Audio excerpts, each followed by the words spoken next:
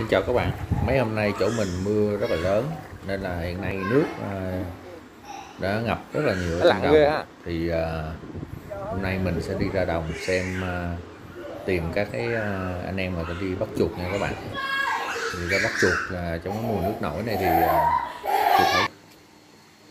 Đây là những con chuột ở trong đồng nè các bạn. À, Bắt bằng cách là bơm nước vào hang chứ không có đào bới nha các bạn đây đây hình như người ta đã phát hiện ra nó. Rồi chính là các bạn. Một con chuột chuột đồng nha các bạn.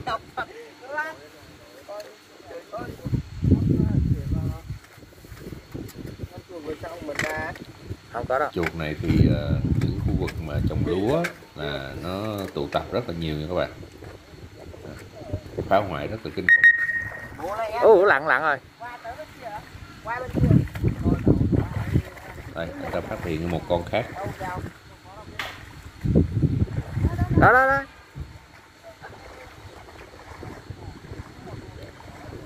Chuột cũng rất là khôn nha các bạn nó lặn dưới nước lặn dưới nước mà đến khi mà không thở được nữa thì mới ngoi đầu lên. Đó, nhưng mà người ta gọi là ướt như chuột lột mà ngoi đầu lên thì cũng không chạy được nha các bạn. Dính chưa? Thế là bị tóm thôi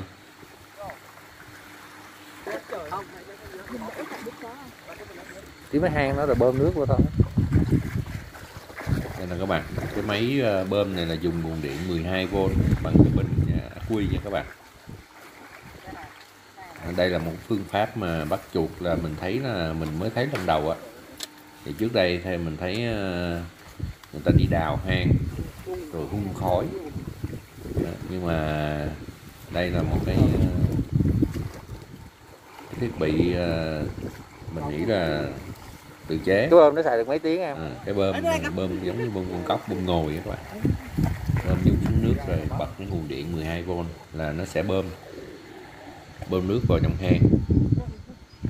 À, vừa rất là đỡ tốn công sức mà hiệu quả rất là cao này đỡ phải đào bờ còn bờ đúng không? hang nào mà có chuột là chung phải ngoi đầu ra thôi khi mà nước vào ngập trong hang thì à, chuột nó sẽ ngoi đầu ra trong lòng hiện giờ thì khoảng mình thấy là khoảng được khoảng chừng 3 kg rồi nha các bạn. 3 kg chuột. Rắn gặp mà nhào bị chụp luôn chứ còn ve nữa hả?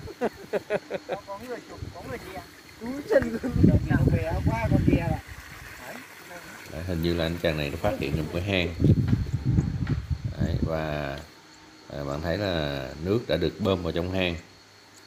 Đấy, nước cái bơm nhúng xuống nước mà nước đã bơm vào trong hang và cứ thế mà chờ chuột nó chạy có đò đầu luôn không? chụp thôi. À, khi chụp chuột này thì à, mình thấy à, những cái anh này ảnh à, trang bị cả bao tay các bạn. Trang bị bao tay cắn. nữa sợ chuột cắn không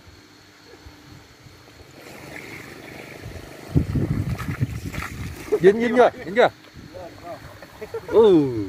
Chuột quá. đấy đấy một con ra. Rồi ui con đó Đấy, to các đó bạn thấy không? Đã dính được một con. Đấy. Bắt chuột rất là đơn giản nhẹ nhàng nhưng mà hiệu quả rất là cao nha các bạn. Con re luôn. Ui chuột con ra luôn kìa. Con ra ngoài luôn mùi tơ mặn quá.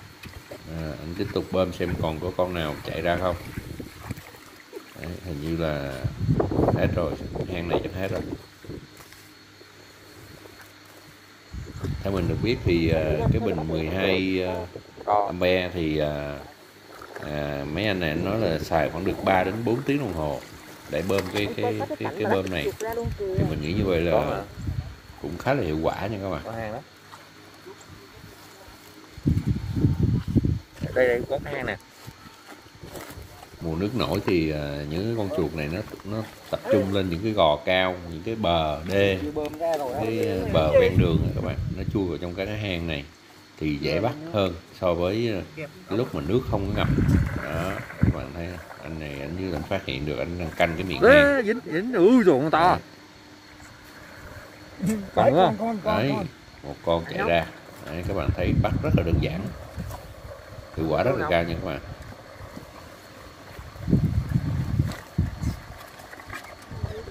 Có chuyện không nên không bán nó Thấy vào đâu là lại anh này đi khoảng 7 đến 8 người nha các bạn. Nếu mà có con chuột nào mà chạy ra thì đố mà thoát khỏi.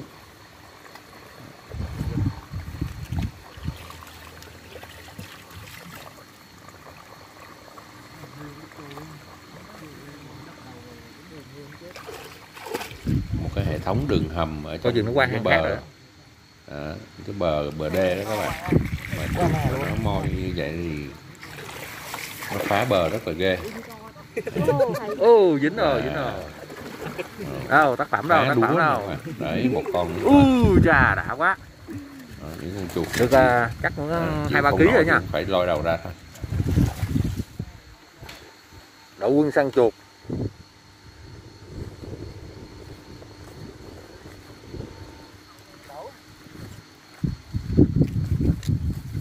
Nước à, hiện nay thì à, à, cơn mưa lớn liên tục mấy ngày hôm nay thì Cái này nhìn hang đồng phải chuyên gia nhìn mới biết được đúng không? nhìn là biết cái hang nào có chuột cái khu vực à, đường đê như thế này thì nó nằm ở trên cao nên là các cái con chuột nó, nó tập trung về đây nó chui rút vào trong các cái hang này nên khi đi săn bắt thì cũng rất là dễ dễ hơn nhiều so với à, kêu đâu rồi những người người ta đi à, đặt bẫy Ừ, rồi dính rồi. như là ui lồng. quá trời luôn nọ kia thì nói chung là cực nhọc hơn Ừ. Đó, nhưng mà mình thấy ờ, mấy anh em ở đây đi bắt bằng cái phương pháp này mình thấy đấy được rất một là con dễ rồi bắt. còn đang còn nó còn cái đầu nó nó thụt lại hay sao á? Thấy người đông quá nó tụt lại. Đấy bạn thấy trong tay anh này cũng đang cầm một con chuột đó nha các bạn. Đó, mới vừa đặt ống nước vào là một con chuột là phải phóng ra. Là anh đang cầm trên tay đó các bạn. Chuột này giờ về bán được nhiêu tiền nghĩ em? Không bán luôn hả ăn nhiêu đây xỉn rồi.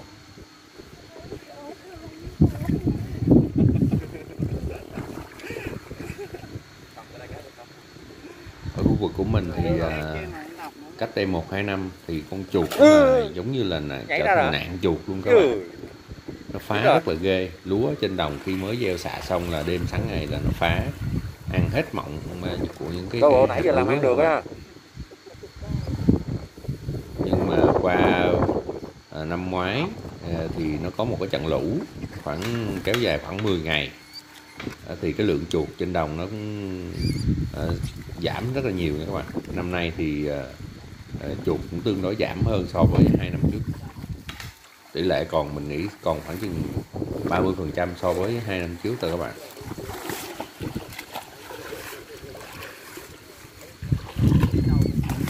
Nhưng mà con chuột này thì à, mình được biết là nó sinh sản rất là nhanh nha các bạn. Cái tỷ lệ đẻ nó theo nè. số nhân rất là ghê gớm.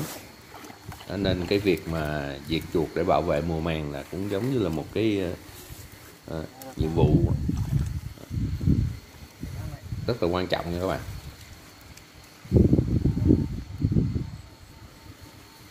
Cái đội quân ờ, săn bắt chuột này mình nghĩ ờ, ờ, rất là được các bác nông dân à, yêu quý. À, thậm chí à, mời nhậu đi nha các bạn. À, về khu vực à, ruộng của các bác nông dân mà bắt chuột đi thì à, các bác đỡ rất là nhiều công sức để diệt chuột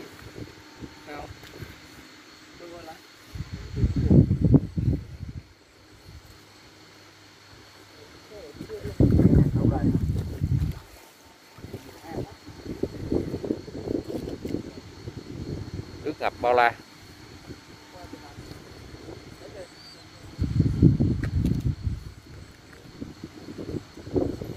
Ờ, trời cũng ờ, sắp mưa rồi. Mình ờ, cũng xin phép dừng video ở đây nha các bạn. À, chúc các bạn một ngày vui vẻ gặp nhiều may